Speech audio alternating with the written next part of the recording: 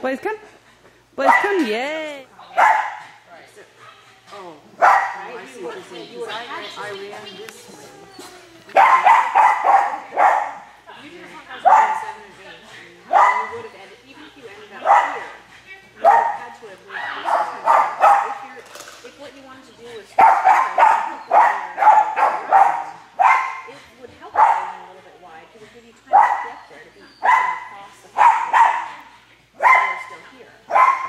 otherwise, um, you would have been.